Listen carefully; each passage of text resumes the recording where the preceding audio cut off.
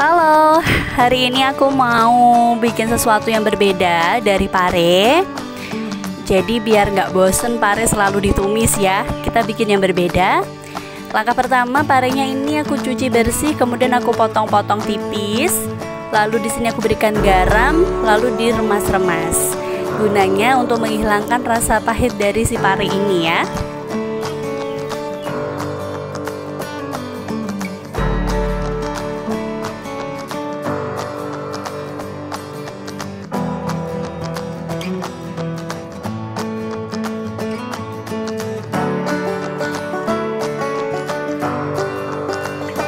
kita biarkan dulu parenya sekitar 20 menit ya.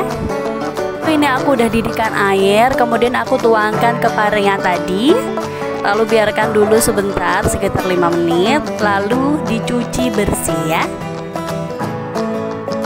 Oke lanjut ke step berikutnya. Aku bikin adonannya. Ini aku punya tepung terigu. Sekitar 3 sendok ya. Kemudian aku berikan penyedap lalu sedikit garam,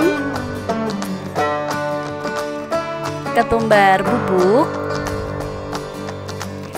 lalu kunyit bubuk, dan sertakan juga irisan daun jeruk ya.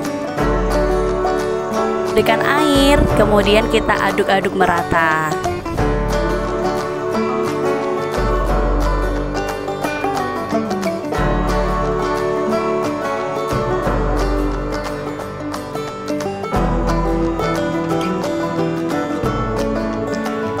Saat sudah tercampur, kita berikan satu butir telur, lalu kita aduk-aduk kembali.